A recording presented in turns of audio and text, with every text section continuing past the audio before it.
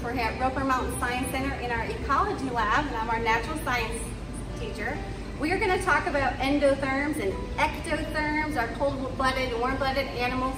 And we're going to introduce two animals to start out. This is Stella, our corn snake, and our second animal, you can probably imagine what kind of animal this is. This is a chinchilla, native to the Andes Mountains where it's kind of colder, really super soft, dense fur.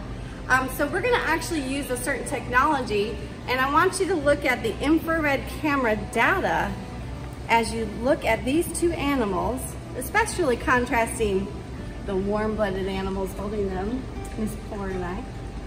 And you'll see different colors and I hope you notice maybe a difference with our snake here.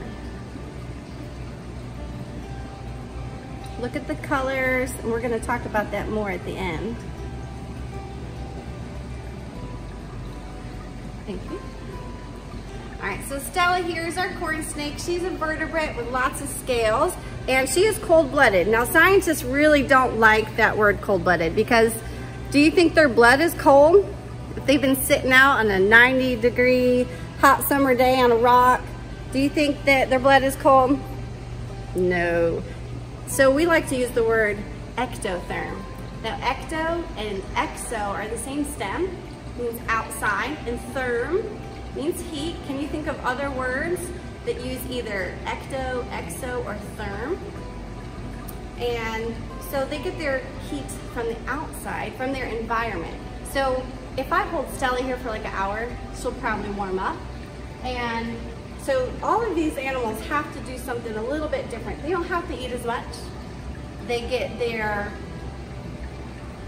their metabolism from what they eat, but for all the different processes, they just chill if they don't have enough food. Or if they are not warm enough, they just have to be inactive until they can get food again. So here's another animal here in our ecology lab. This is the American alligator in our cypress swamp. And as you look at this habitat, you can probably imagine where the American alligator goes if he's too warm or too cold. And he's showing off his little scutes. Those are areas that have lots of capillaries to release excess heat. And another habitat here is our beaver pond. And we have red-eared sliders here.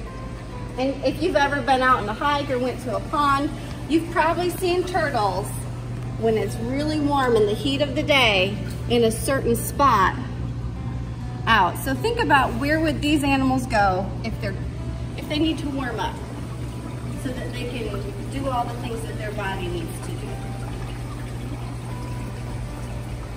And the same thing for fish. So think about far in as your ectotherms, that's your fish, amphibians, reptiles, and invertebrates. All of those are what we call cold-blooded or ectotherms. And then we have two special groups of animals that are endotherms. So that would be mammals, like us, and our chinchilla, and birds. We don't have to rely on our environment for our, our heat. We actually have to eat a ton of food. We need lots of calories. So I want you to go outside and think about and try to look at the birds, look at what kind of calories they're trying to take in, and try to make a bird count and see how many birds come to different feeders or in your backyard and how often you might see the same ones coming to get food. So as you think about your endotherms and ectotherms, think about how they regulate their heat. Now, mammals and birds, um, they have to regulate their heat. So mammals will need to sweat or pant. You've probably seen a dog doing that if they get too hot. Um, we can also add on layers if we need to for us humans. So as you think about your endotherms and ectotherms and adaptations and how those animals might try to cool down or warm up so that they can do all the things their body needs to do, think about all these animals here at Roper Mountain Science Center and all those even in your backyard.